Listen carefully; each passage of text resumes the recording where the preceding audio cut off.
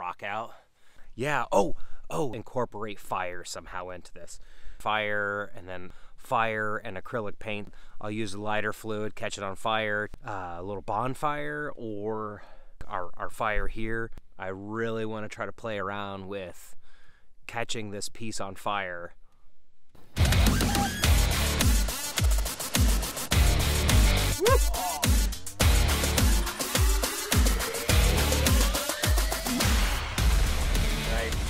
I have no idea what that did, but that was pretty sweet. stop?